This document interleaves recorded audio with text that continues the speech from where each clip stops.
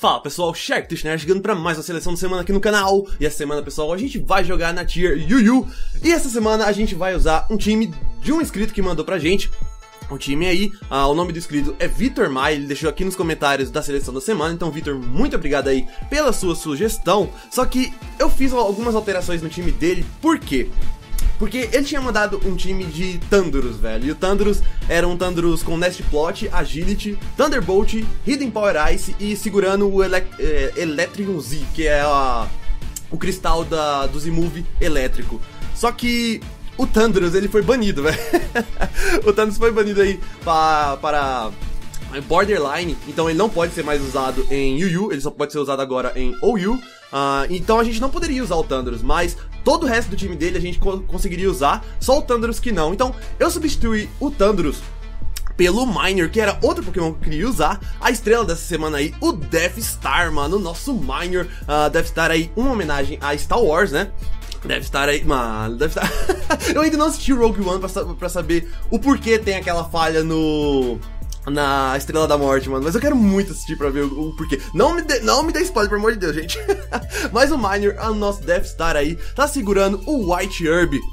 Que faz com que os nossos stats que tenham abaixado volte a ser neutro, então é muito bom para combar com Shell Smash, porque quando a gente usa o Shell Smash, as nossas duas defesas abaixam em dois estágios ou é em um estágio, se eu não me engano, uh, e isso faz o Miner ficar bem mais fraco do que ele já é. Uh, então o White Herb cancela esse drop no stats e aí a gente mantém os aumentos dos nossos stats no ataque, no Special Attack e na Speed, isso é muito legal, uh, é um combo bem legal, até porque além de a gente usar o White Herb e recuperar nossas defesas, ainda comba com Acrobatics, mano, é um combo muito legal. Shell Smash, é, White Herb e Acrobatics, que é um dos nossos golpes aqui. a habilidade do Miner é, é chamada Shields Down. Essa habilidade aqui, uh, quando ele tá na forma normal dele, que é essa forma. Cadê o Miner aqui? Miner.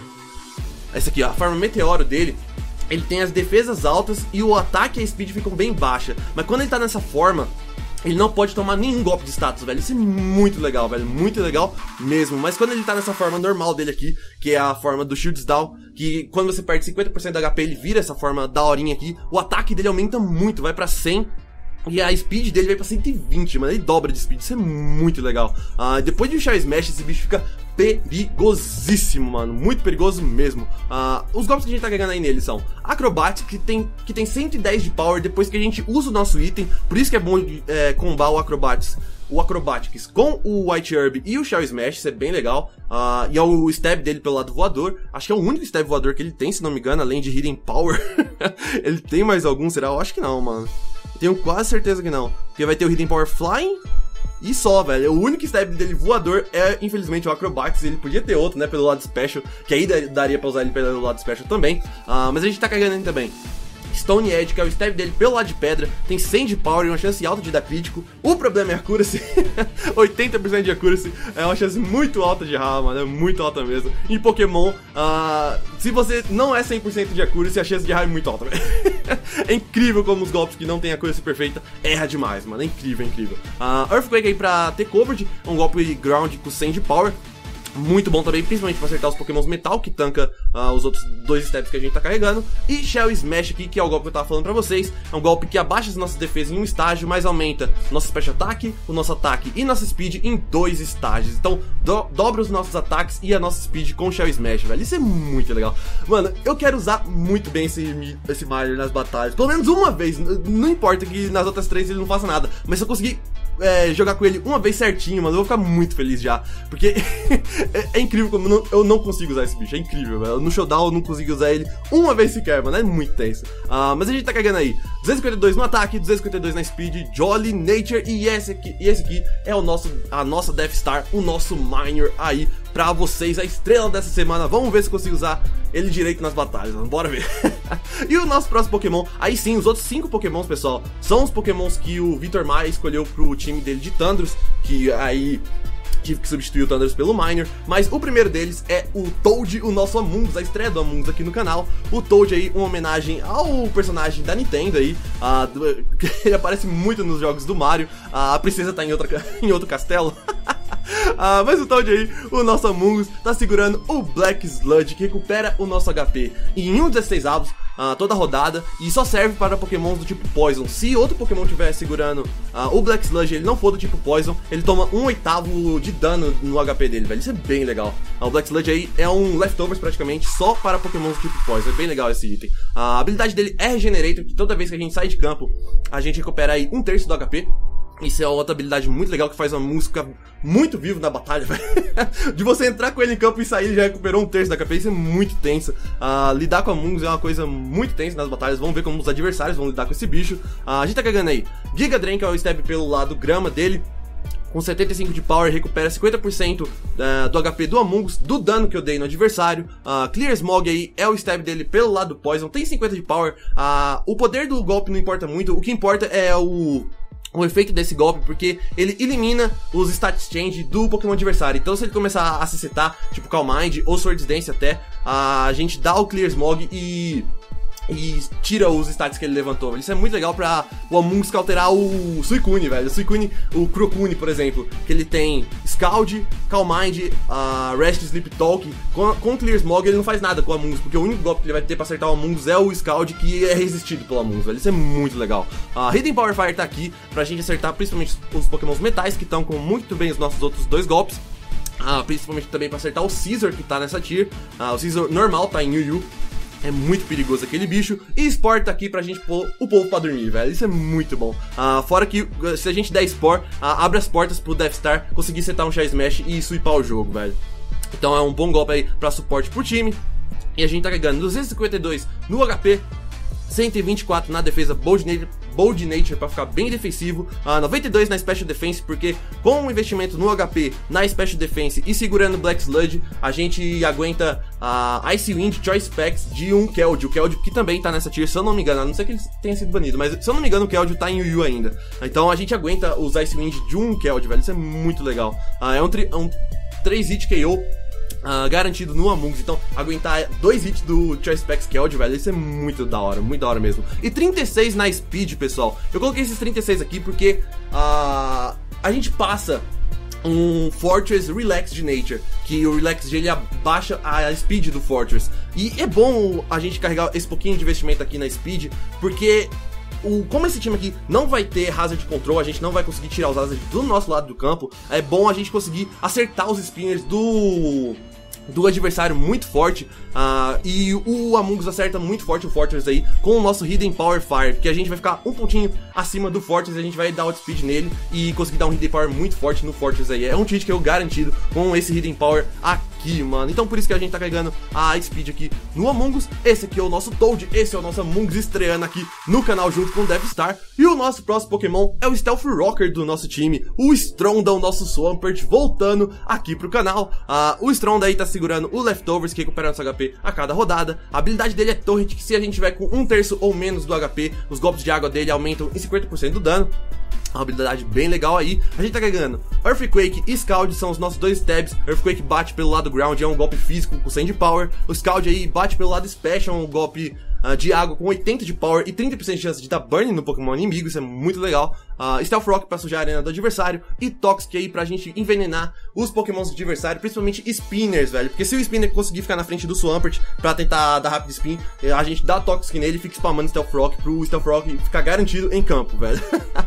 Fora que, o mesmo que a gente não tenha um Hidden Power da vida pra acertar o Fortress, o Scald bate muito forte nele. É, deve ser um, um 4-hit KO garantido no Fortress aí. Uh, isso ajuda pra caramba. Vocês vão ver que esses três pokémons aqui, o Toad, o Stronda e a Lixa, é, lidam muito bem com o Fortress, porque eu não quero que o os pokémons adversários consigam dar Rapid Spin, mano. Ah, se, se os caras é, tiver The Fog no time dele em vez do Rapid Spin, a gente se aproveita muito bem, porque ele vai limpar os Azad do nosso lado do campo também, e a gente tem o MC Hammer que tem Defiant, então se o cara der The Fog aumenta o dois estágios de ataque aí do MC Hammer, velho, é muito perigoso para ele. E os Spin, eles praticamente perdem pra esses três aqui, porque os três estão com golpes para lidar com Rapid Spinners, velho. Por isso que eu tô tomando muito cuidado com os Rapid Spin aqui, com esse time, porque eu quero meus Hazard no campo o jogo inteiro. Então, esse aqui é o nosso Stronda com 236 no HP, 252 na defesa, Relax de Nature, que aumenta a nossa defesa e abaixa a nossa speed, já que a gente não precisa de speed, e aí a gente mantém os nossos dois ataques e as nossas defesas inteiras, uh, e 20 no ataque, porque sim, mano. Então esse aqui é o nosso Stronda, esse é o nosso Swampert, o nosso Stealth Rocker do time.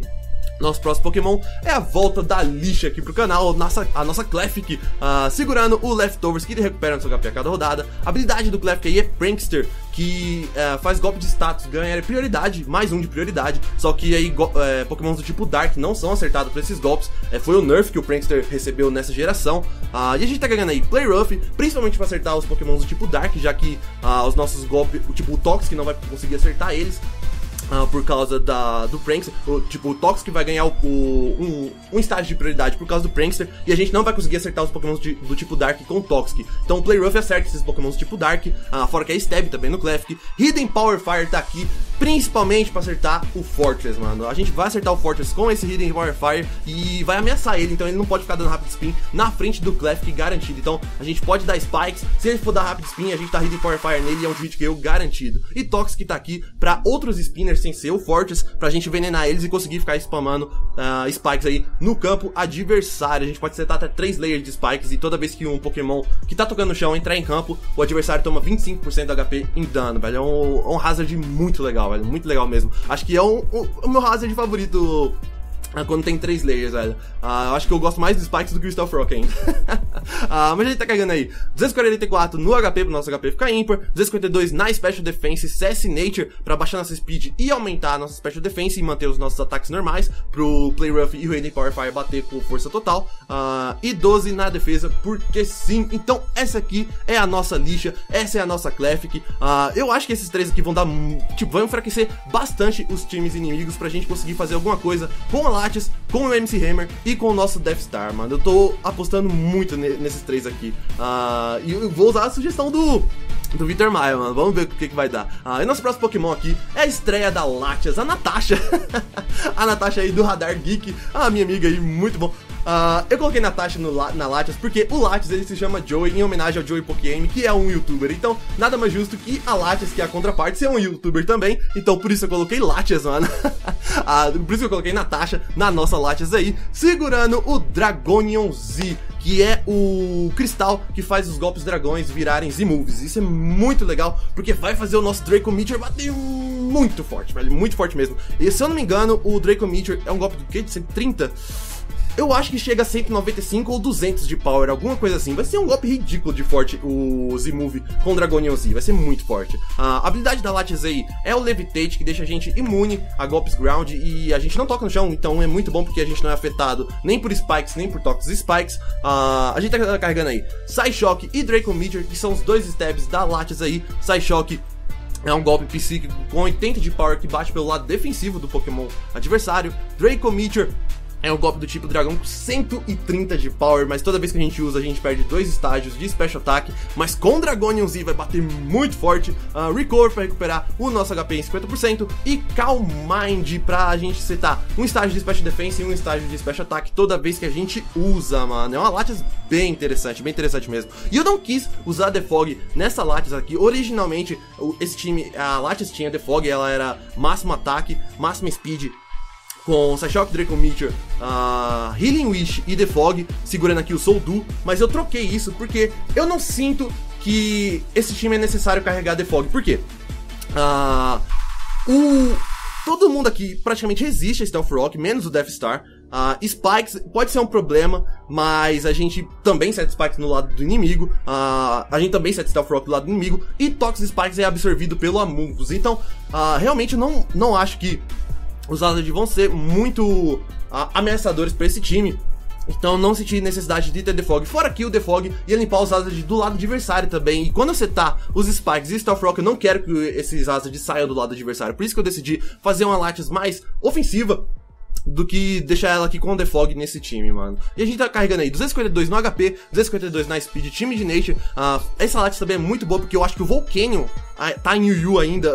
Não sei se o Volcanion foi banido pra OU depois desse tempo aí. É, eu não joguei uma partida de UU ainda, pessoal, só assisti. Então vai ser é uma experiência muito nova aí pra mim em Sunny Moon essa semana. Então a Lattice aí vai conseguir tancar os golpes tanto do do Volcano, se ele ainda tiver nessa tier, quanto do Keldeo também. Nem o stab dele de água, nem o lutador vai ser é, super efetivo aí na Lattes e a gente vai conseguir aguentar muito bem esses golpes, mano. Então, essa aqui é a nossa Natasha, essa é a nossa Lattes e o nosso último Pokémon é o MC Hammer, o nosso Bisharp, a volta do Bisharp aqui pro canal, uh, segurando o Black Glasses, que aumenta o poder dos nossos golpes Dark e 20%. A habilidade dele é Defiant, que como eu falei, toda vez que ele toma um drop de algum stats, o ataque dele aumenta em dois estágios. Então, por exemplo, se a gente tomar um Intimidate, uh, a gente vai abaixar um estágio de ataque, mas graças ao Defiant a gente vai aumentar dois, vai ficar mais um de ataque. Isso é muito legal. Uh, se a gente entrar em Stick Web, uh, o Defight vai ativar também. A gente fica com mais dois de ataque de graça. E se alguém tentar dar Defog, como o Defog abaixa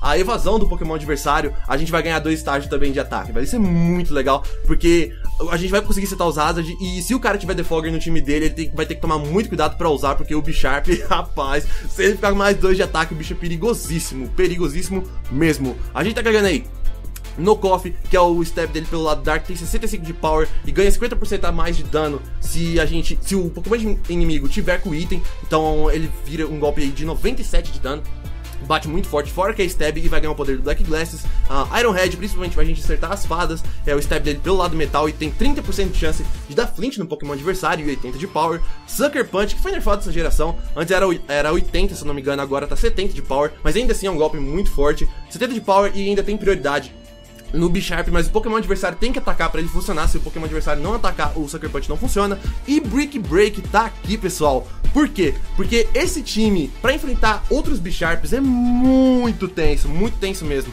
Uh, se ele levantar um mais dois, praticamente tira o nosso time inteiro, mano. É muito tenso mesmo. Então eu coloquei Brick Break aqui, porque o B-Sharp ele aguenta no Coffee e Iron Head mais dois do Bisharp adversário e o Brick Break é garantido um hit KO no adversário. Fora que o Brick Break aqui também ajuda contra times que usam Light Screen e Reflect. A gente pode dar o Brick Break e quebrar as duas screens aí, é muito bom. A gente tá ganhando aí 4 no HP, 252 no ataque, 252 na speed, Jolly Nature e esse aqui é o MC Hammer. Esse aqui é o time do Vitor Maia, mais ou menos. Eu alterei muita coisa, Vitor. espero que você não fique bravo comigo. Mas eu tive que uh, alterar, porque o Thunders não tava e alguns sets tá, pra mim estavam muito bizarros, mano. E eu precisava alterar eles um, um pouquinho. Uh, acho que o, o, que eu alterei mais foi a spread do Amungus.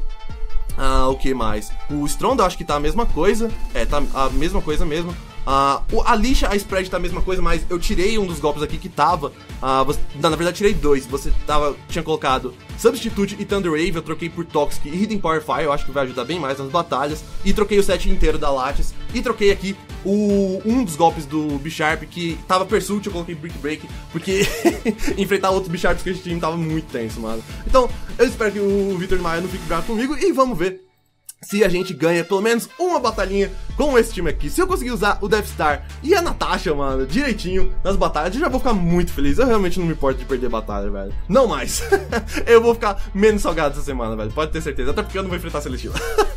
Mas, pessoal, se vocês estão ansiosos pelas batalhas uh, com esse time, já deixa um like embaixo, inscreva no canal, me siga nas redes sociais, compartilhe com os amiguinhos e com os amiguinhos e nem para não perder nenhum conteúdo. Fique de olho no tubarão.